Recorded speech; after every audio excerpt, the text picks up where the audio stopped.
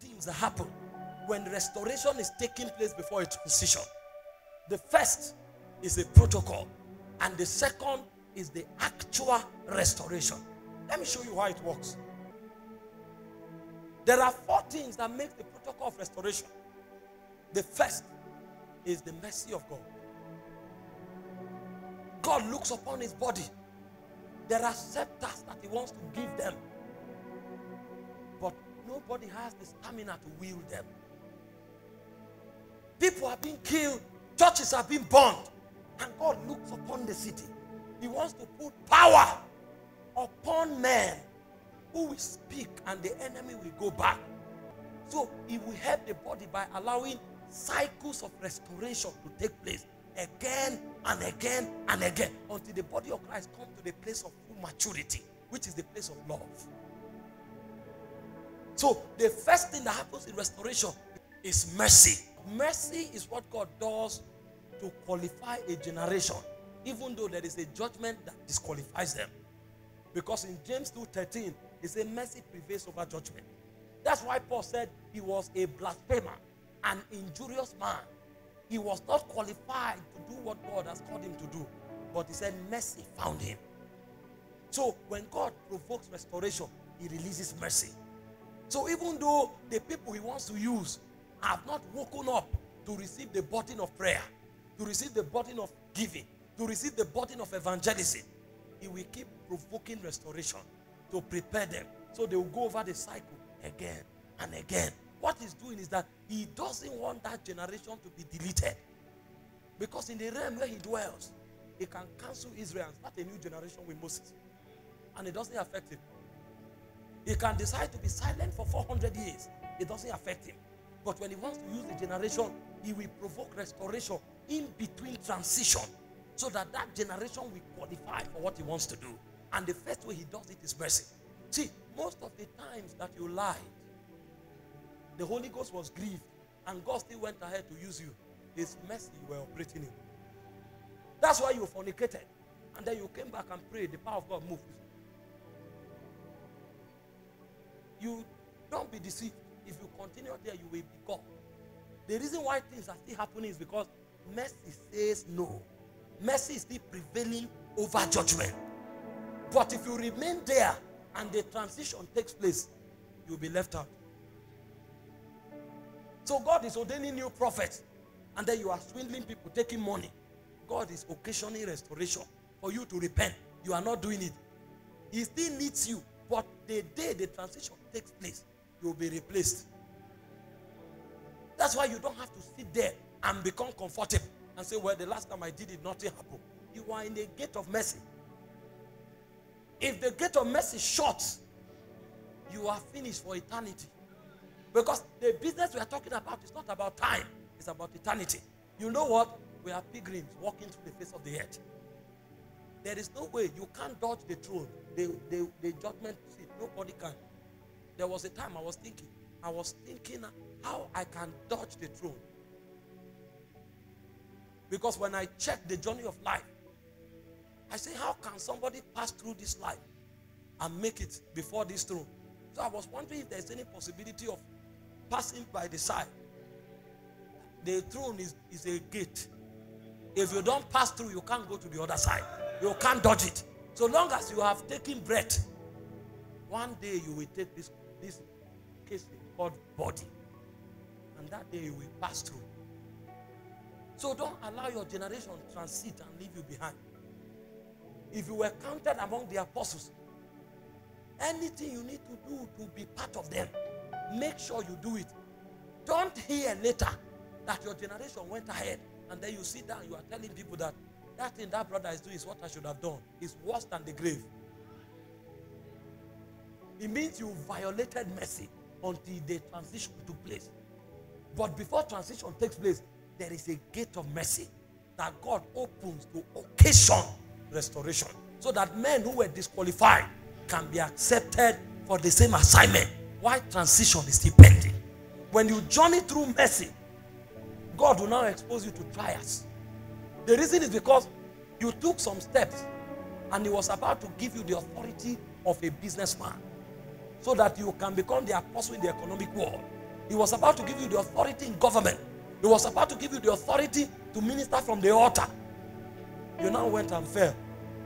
Mercy now spoke, and judgment was eroded, and you were restored. But you will not just appear where you were.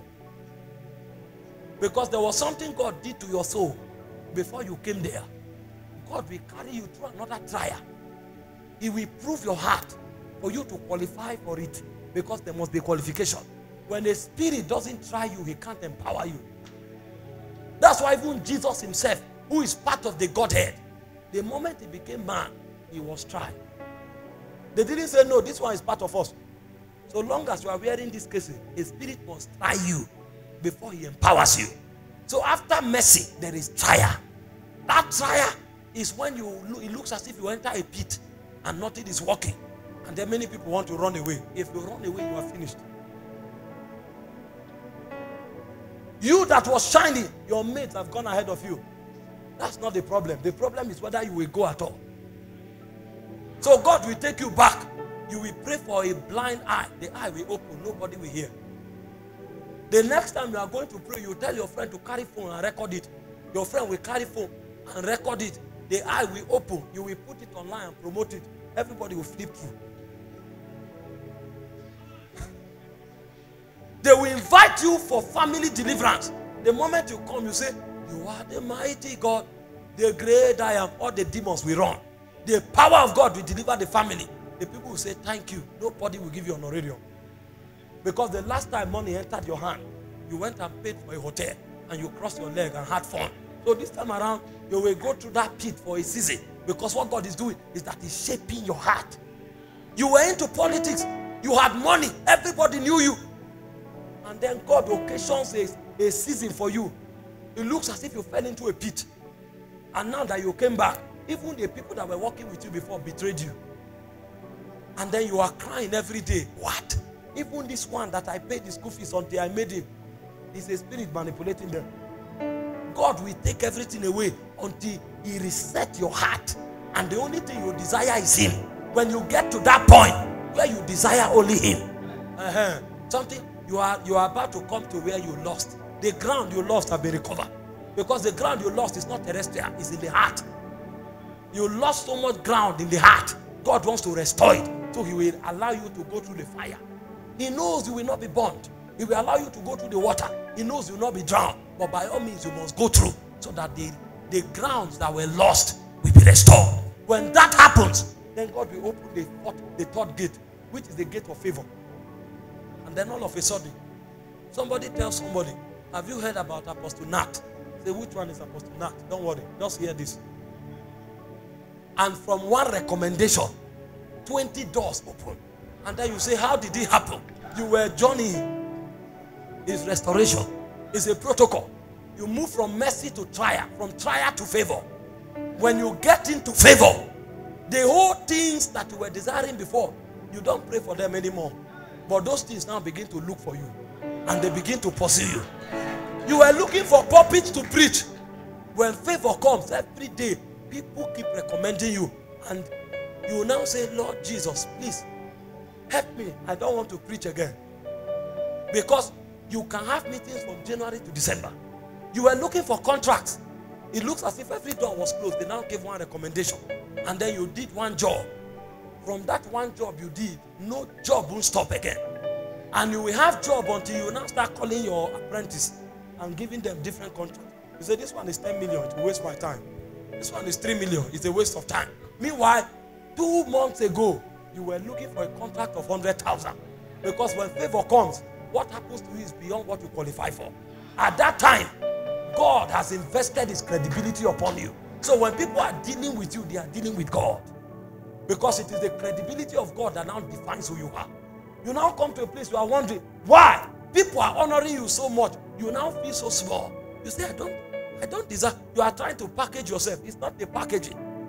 It is the credibility of the spirit that is upon you. So when the people are seeing you, they are seeing something else. Small you like this, come for a meeting. Then they come with three jeeps to carry you. You now say, is it necessary? I would have come on a car. No, calm down. You are in the era of, of favor. In the era of favor. But at that time, the things you were desiring, it don't mean anything to you anymore. Your heart has been tried. When you go through favor and it still doesn't alter your disposition, then God will give you the scepter. That scepter is your enthronement. That means you are qualified to command the armies of God. Anything you say is law in the spirit. They can wake you up in the morning and you were not fasting, you were not praying, and they say there is problem. You say, Peace be still. Because you spoke, that same jealousy of God will go to work on your behalf. Even you, you will know you didn't release faith enough to handle that matter, but you have a scepter. Because he said, I, the Lord, I perform the words of my servant and I confirm the counsel of my messengers. No matter how you wear, anything you say must happen. All of those things is not transitional. Oh. They are just the packages that God does in transition to create a buffer so that the body of Christ will not drown. That's why you are seeing some people, things are happening. It's a move, it's a restoration. Because God has a bigger agenda. The bigger agenda of God is a transition. Transition doesn't affect men, it affects the body of Christ. But before the body of Christ comes into maturity to transit, there are certain men that God need to create some complex spiritual algorithm around their life to be able to contend with the things happening territorially.